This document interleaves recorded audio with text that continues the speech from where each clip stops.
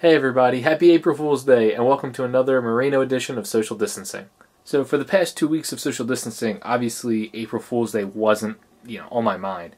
Uh, luckily for you, Dad reminded us a few days ago. So for the past few days, the Marinos have been pulling pranks on each other uh, and recording them. So please enjoy.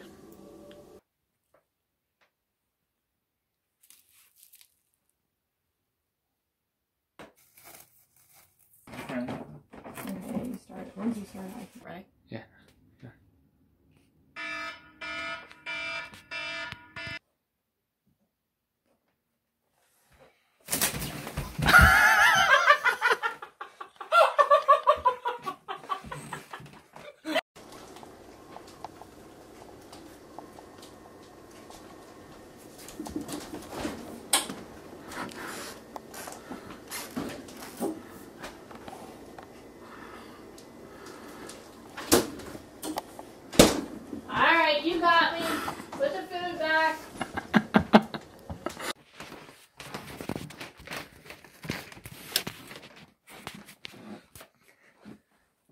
Dad, what are you doing in the bathroom?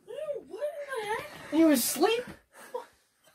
Oh my god. God, that's disgusting. Oh,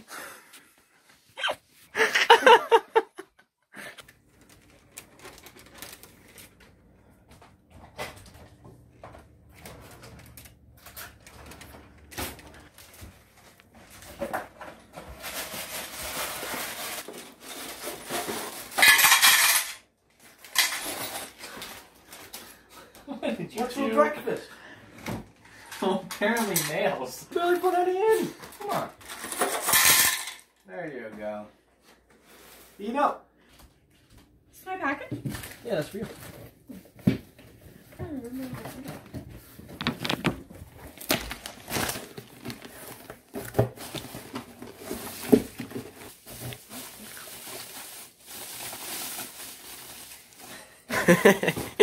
Are you kidding? Come on, play it.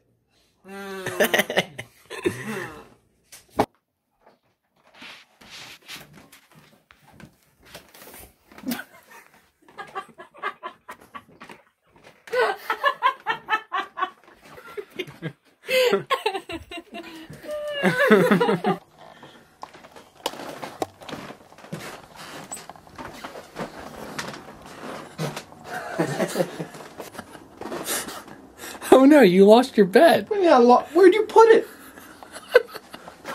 Where, where could you even put it? Change. You're getting colder. Warmer, It's not in here. warmer, warmer, colder, warmer, warmer, warmer, warmer. How do you even get it out there? What's he doing? No, no, no! How was he doing? My sheets! Oh my god! Well, mom will be happy that April Fool's is finally over. Also, a quick social distancing update. Um, today on MSNBC, I saw a quick news clip um, that talked about uh, the numbers of cases of you know COVID nineteen in a county in Washington State that was pretty hard hit, um, are potentially lowering or you know per day. So it's still pretty recent news, and the data isn't you know concrete yet. But the the new numbers may potentially show that social distancing is helping them flatten their curve in that particular county. So hopefully this is the first potential proof that social distancing is working. Obviously we won't be sure, you know, for the next few days to weeks to even months, but it could be a sign of hope. And with that, I will see you on the next Marino edition of Social Distancing. Dugan, what are you still doing in here?